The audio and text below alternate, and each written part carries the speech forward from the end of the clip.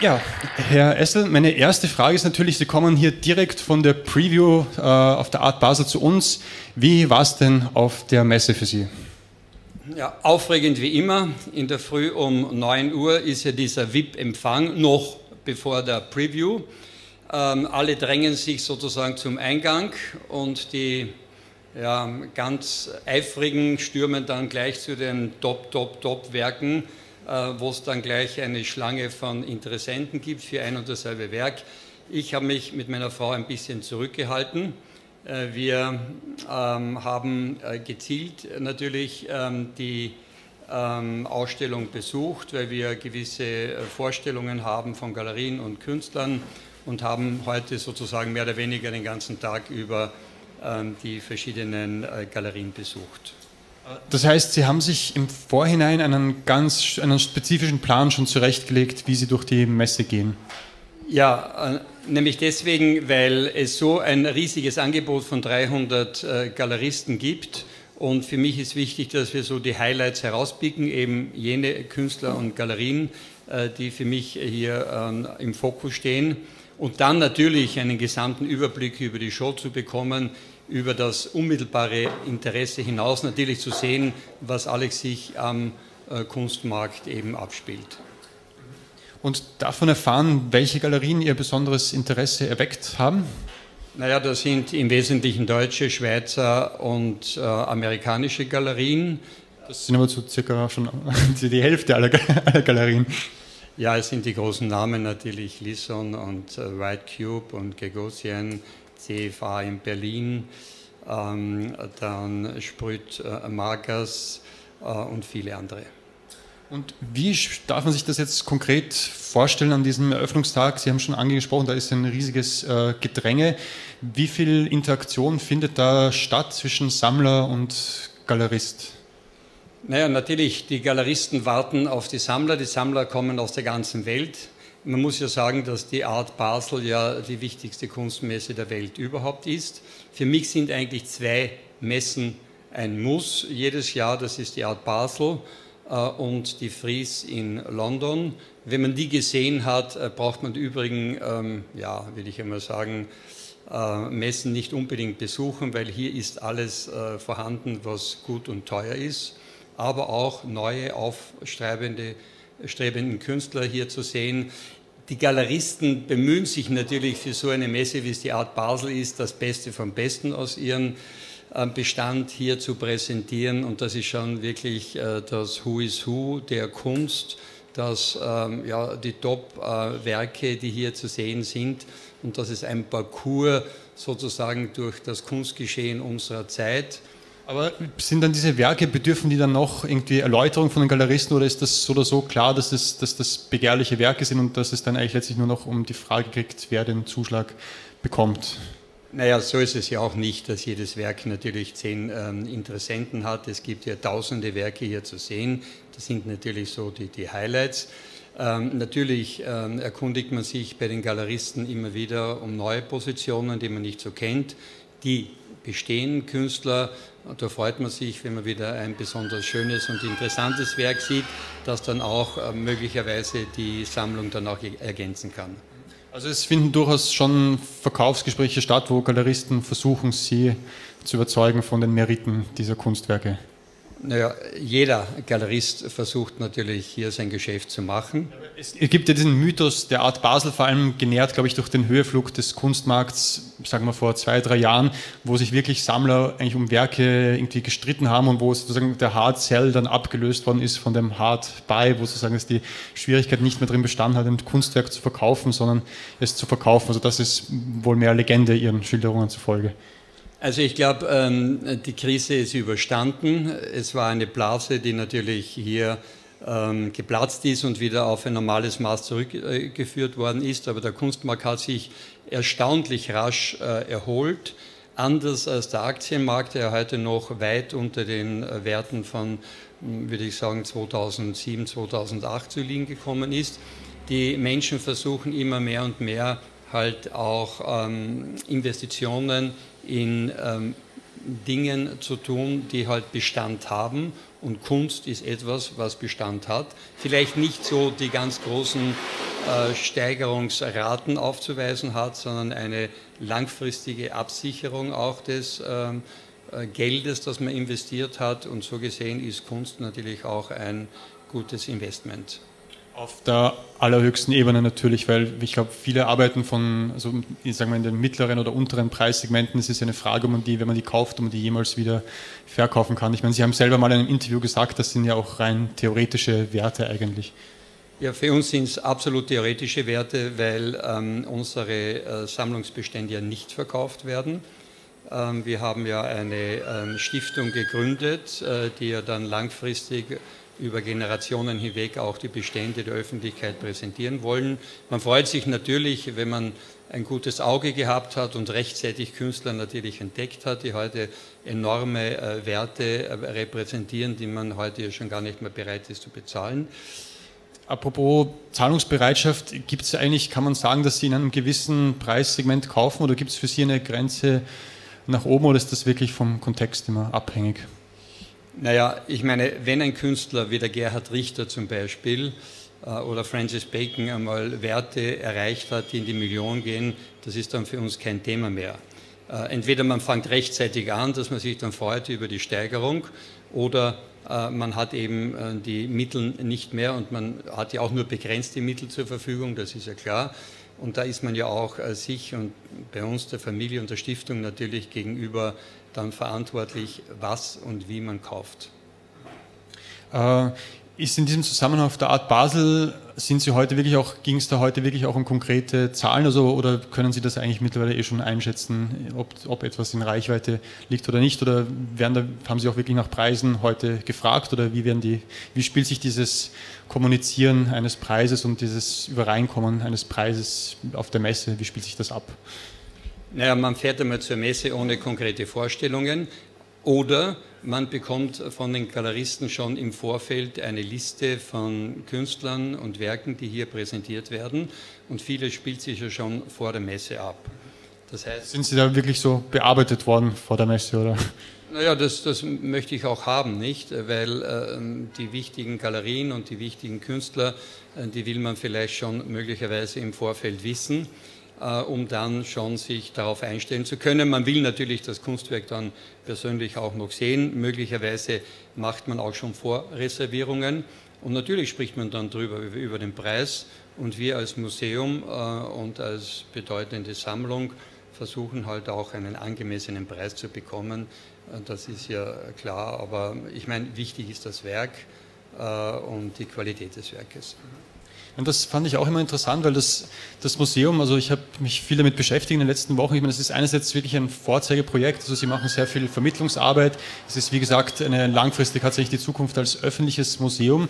Zugleich ist so ein Museum aber auch irgendwie eine Legitimation ihrer Sammlertätigkeit. Ich meine, sehen Sie das eigentlich auch so, dass es diesen, diesen Zusammenhang gibt, dass Sie gegenüber einer Galerie ganz anders auftreten können als ein reiner Privat, äh, Privatsammler sozusagen? Naja, die Sammlung hat sich halt so irgendwie ergeben. Man konnte nicht als äh, Sammler auf die Welt. Äh, ist ja immer auch eine Frage des Geldes. Ich habe 1975 das Unternehmen von meinem Schwiegervater übernommen und Baumax aufgebaut. Und im Zuge der Entwicklung auch des Unternehmens habe ich dann mehr auch äh, Mittel zur Verfügung gehabt, um eben in Kunst zu investieren. Und ähm, da hat man halt auch äh, bestimmte Vorstellungen, äh, wie Dinge laufen sollen. Ähm, die Sammlung ist dann so gewachsen, äh, dass man zum Schluss dann auch einmal sich die Frage stellen musste, ähm, was die Sammlung soll, welchen Zweck sie erfüllen soll. Das ist ja weit äh, über, den, ähm, ja, über das private Hobby und ähm, Passion hinausgegangen. Und wenn man so einen großen Schatz an Kunstwerken besitzen darf, möchte ich sagen, äh, dann hat man auch eine große Verantwortung übernommen weil Kunst ist ja anders zu sehen oder das Eigentum an Kunst anders zu sehen als an einem profanen Gegenstand. Kunst ist für die Ewigkeit geschaffen worden, möchte ich einmal sagen. Und Kunst hat etwas auch äh, mit der Kultur, mit dem Selbstverständnis eines Landes äh, zu tun. Und aus diesem Grunde tragen wir natürlich in vollem Bewusstsein eine riesige Verantwortung für den großen Kunstschatz, den wir hier pflegen, bewahren aber auch ausstellen und wissenschaftlich bearbeiten dürfen.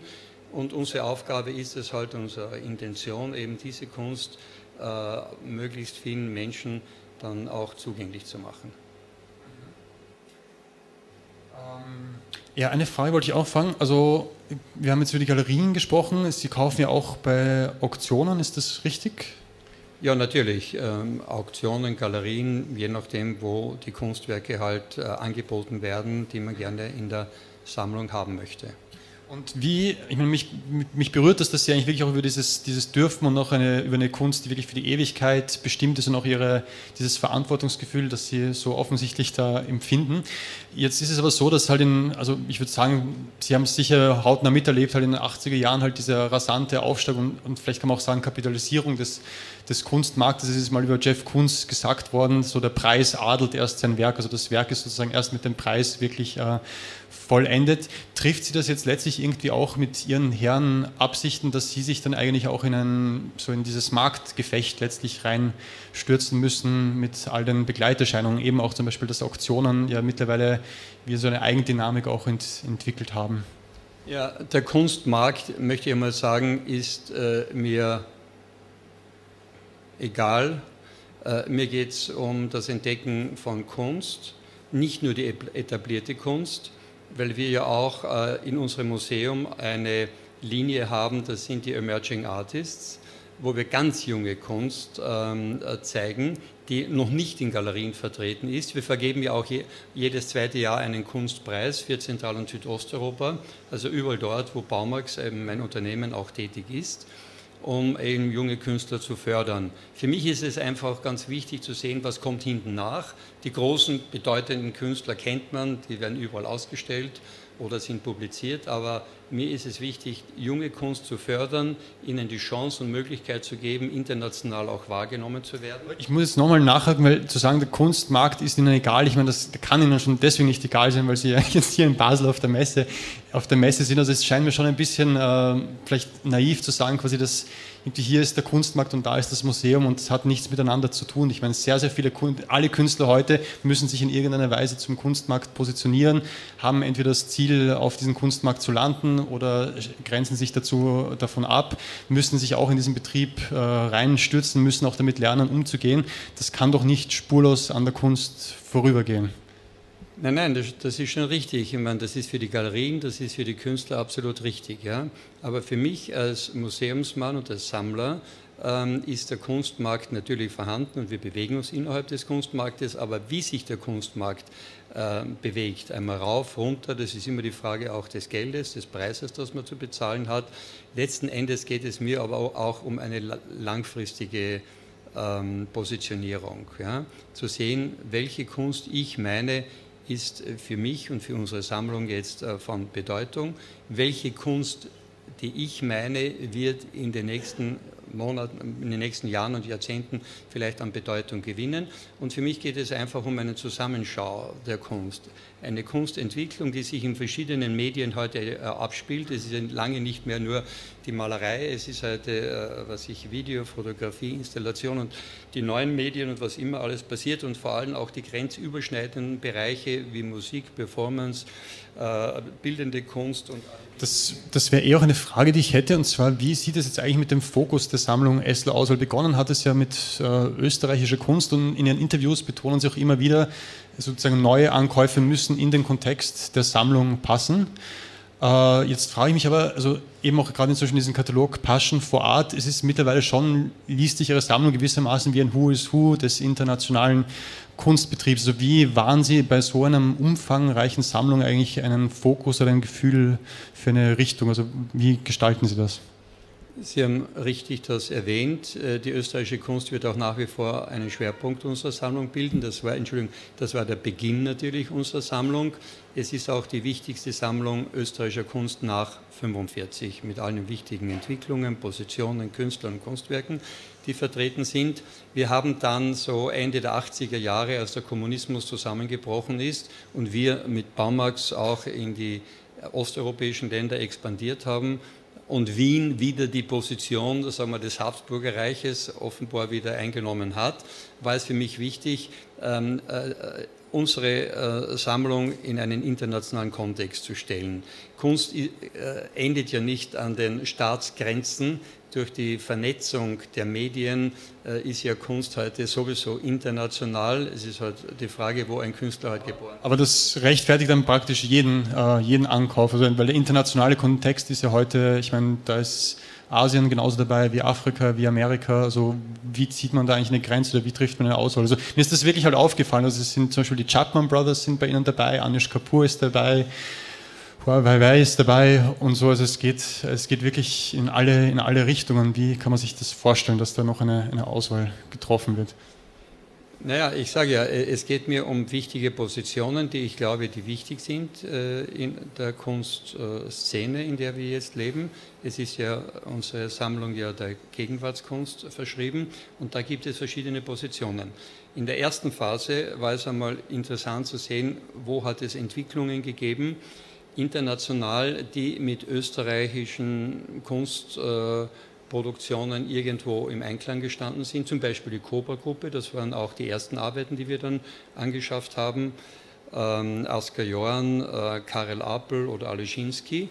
Ähm, da waren auch ähm, Künstler wie Ringel äh, oder Bongrad sehr stark auch beeinflusst davon oder äh, dann äh, andere Positionen, die dann in die Performance äh, gegangen ist. Nietzsche war ja schon in den 60er Jahren in Amerika, die ganze Happening-Bewegung bis hin nicht zu den ähm, zu, ähm, zu den Pop-Art-Künstlern ist ja eben aus dieser Position heraus entstanden.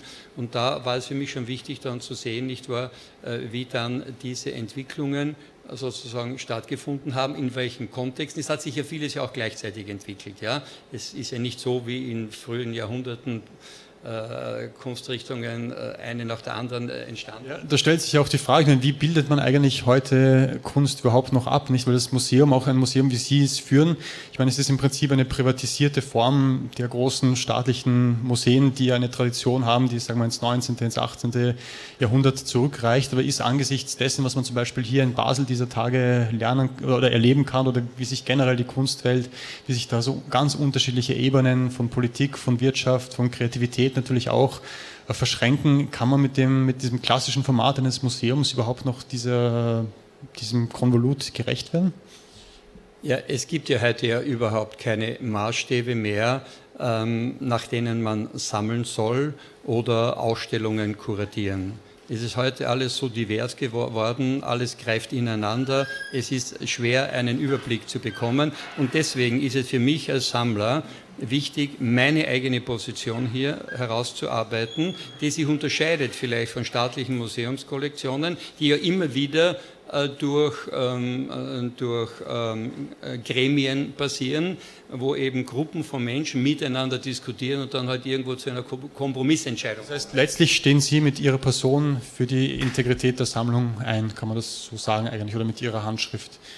Ja, das ähm, machen meine Frau und ich. Und das kann man kritisieren, nicht? Da kann man sagen, okay, das ist schlecht oder das ist gut. Uh, the future will it prove, also heißt es so schön. Und man sieht ja auch heute Künstler, die ich, was ich vor 20, 30 Jahren angekauft habe, wo kein Mensch damals noch uh, irgendwo uh, gedacht hat, dass die sich so entwickeln, sind heute die großen Namen international zum Beispiel. Eine, vielleicht, wir kommen eh schon zum Ende unserer Zeit. Ich wollte noch äh, fragen, ähm, noch ein anderes Themenbereich berühren. Sie haben immer wieder gesprochen, ein Grund für Ihre Sammlung, verzeihen, wir haben da kurz das Kabel auf dem Fuß, nicht, dass Sie mich da abschneiden. Ähm, Sie haben immer wieder gesprochen über den Zusammenhang von künstlerischer Kreativität und unternehmerischer Kreativität, dass Sie das eigentlich als so befruchtend äh, empfinden eben Bilder anzusehen und auch, dass sie das für ihre Mitarbeiter bereitstellen und dass das dann eben auch wirklich wiederum für das Unternehmen Baumax einen, einen Mehrwert schafft. Das frage ich mich dann doch immer wieder, ist das wirklich die gleiche Form von Kreativität, die man braucht, um ein Unternehmen so erfolgreich zu führen, wie sie es getan haben und die man braucht, um letztlich eine relativ ergebnisoffene oder nicht am Ergebnis orientierte künstlerische Arbeit eigentlich oder ein künstlerisches Projekt über Jahre hinweg zu verfolgen? Ähm, ich glaube, dass es sehr gute Parallelitäten gibt zwischen Kunst und Wirtschaft. Äh, auch wir müssen heute kreativ sein. Wir können heute nicht mehr so arbeiten wie vor fünf oder vor zehn Jahren. Baumax ist, äh, solange ich das jetzt führe, zum dritten Mal jetzt neu erfunden worden. Äh, das heißt, wir müssen uns ständig nicht auf neue Gegebenheiten, auf Marktentwicklungen, Kundenwünsche, Konkurrenzdruck von allen Seiten globalisierten Bestrebungen natürlich hier anpassen. Und das heißt, wir sind jeden Tag gefordert, äh, sozusagen das Rad aufs Neue zu erfinden. Bei den Künstlern ist es genauso. Der kann auch nicht äh, jedes Bild äh, drei, viermal machen. Er muss genauso versuchen, ähm, bei jedem Kunstwerk, das er produziert, sozusagen einen neuen Input, einen neuen Spirit, einen neuen Geist hineinzubekommen. Nur dann hat es auch Bestand wenn er, wenn er sich wiederholt und immer wieder äh, wiederholt, nicht wahr, dann ist das eben ein Abklatsch von dem, was man schon kennt. Und man erwartet auch vom Künstler, dass es immer wieder neue kreative Ansätze gibt. Das ist vielleicht auch eine Erwartung, die, nicht, die vielleicht heute auch aus der Wirtschaft an die Künstler herangetragen wird. Oder dass eigentlich die, manchmal hat man das Gefühl, dass die Wirtschaft eigentlich fast schon kreativer und eben im Sinne von einer Creative Destruction auch irgendwie der, der Kunstwelt quasi ein bisschen auch das Tempo vorgibt. Also läuft diese Beeinflussung auch in die andere Richtung, eigentlich von Wirtschaft auf Kunst. Es könnte ja auch eigentlich im Prinzip, warum sollte ein Künstler nicht auch über viele Jahre hinweg das Gleiche machen oder ein beschaulicheres Leben oder eine beschaulichere Form von Kreativität, die vielleicht auch nicht so an Neuigkeit orientiert ist, praktizieren?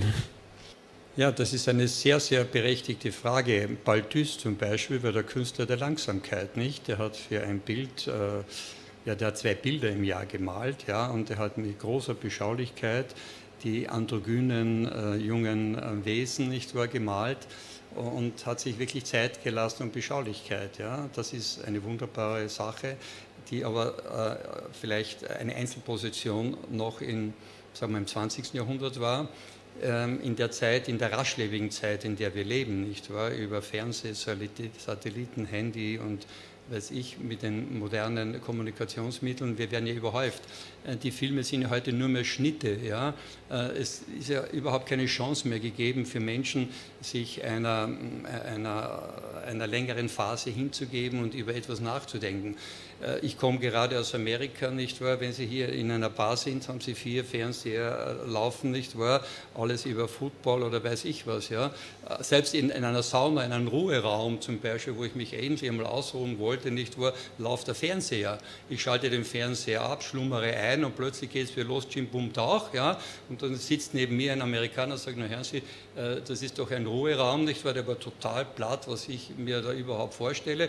Dann äh, schaltet der aus, nicht wahr? Aber die Flimmerkiste ist gelaufen. Die Menschen haben heute keine Zeit mehr, zur Ruhe zu kommen. Und das ist eben das Problem unserer Zeit. Ja, darauf Problem auch der Wirtschaft sicherlich nicht. Also alles, alles, natürlich. Ich meine, wir müssen uns so kurzfristig auf Gegebenheiten einstellen, das ist enorm. Nicht? Und der Künstler genauso. Nicht? Wenn er nicht ständig immer wieder vorne mit dabei ist, ist er weg vom Fenster. Das geht ganz rasch. Ja, aber vielleicht gibt es in Zukunft ja anstatt Creative Destruction wieder mal so Creative Reduction oder so eine, eine Art ähm, von Beruhigung. Eine letzte Frage wollte ich eigentlich noch, ähm, die mich auch noch interessiert hätte. Also wir haben halt jetzt viel über Markt gesprochen, es bietet sich halt auch an, anlässlich der Art Basel. Aber gibt es eigentlich in Ihrer Sammlung auch so etwas wie eine Ökonomie des Tausches oder des Geschenks? Also kommt es vor, dass einfach auch Geschenke in Ihre Sammlung eingehen oder dass Sie Sachen eintauschen oder dass eigentlich überhaupt Dinge völlig außerhalb dieses ähm, ökonomischen Zusammenhangs irgendwie passieren? Also verkaufen tun wir in der Regel nicht. Vielleicht wird das einmal vorkommen, wenn man Dubletten hat, dass man mal ein wichtiges Werk dann einmal dadurch erwerben kann, was man sonst nicht kaufen würde. Wir kriegen natürlich äh, von Künstlern ab und zu, wenn wir auch eine Ausstellung machen, natürlich auch einmal ein Geschenk, das in die Stiftung dann eingeht, ins Museum, in den Museumsbestand. Und dann gibt es natürlich Druckgrafiken, die wir haben, die wir jedes Jahr auch einmal verlegen die wir dann ähm, auch verkaufen an unsere, äh, an unsere Besucher. Ähm, aber ähm, das ist es ja schon auch. Ja? Gut, ja dann, ähm, ja, ich habe mich nicht fragen getraut, aber haben Sie jetzt eigentlich auf der Art Basel was gekauft? Ich bin noch dran, würde ich sagen. das heißt, wir, wir hindern Sie jetzt ein bisschen auch dran, dass Sie wieder Ihrem Jagdinstinkt folgen, sozusagen. Also sobald wir hier mit unserem Gespräch fertig sein sind, werde ich noch heute mindestens bis um, würde ich sagen, 19.30 äh, Uhr jetzt noch auf der Messe mich aufhalten. Gut, Na, für den Fall, dass Sie doch nichts bekommen auf der Messe, habe ich Ihnen hier noch was mitgebracht. Ähm, ein Kunstwerk, das können Sie als, äh, sozusagen als Andenken aus Basel mitnehmen. Es ist auch schon transportfähig verpackt, also wir denken auch an die Logistik. Ich habe sogar, ich muss mal schauen, ob ich die noch da habe. Na, ich hätte vielleicht auch noch Nägel gehabt für die, das sind die Wandhänger. Aber ich glaube, aber Sie sind ja eh, ich glaube, Sie haben wahrscheinlich eher einen Mitarbeiterrabatt beim Baumarkt. Also die finden Sie noch zu Hause. Ja, dann vielen Dank, äh, Herr Essel, fürs Gespräch und für Ihre Bereitschaft und gute Fortsetzung beim Einkaufen, Taktieren und Feilschen auf der Messe. Ähm, liebe Zuseher und Zuseherinnen, das war die erste Folge von Kunst, Markt und Manieren. Morgen geht es weiter mit Ishin Önol, aus, eine Kuratorin aus der Türkei, die hat vier Jahre lang im 4L-Museum gearbeitet und da geht es um die Gepflogenheiten und die Entwicklung des Kuratierens. Für heute verabschieden wir uns sehr herzlich und danken für Ihre Aufmerksamkeit. Äh, auf Wiedersehen, Grüßli, bis morgen.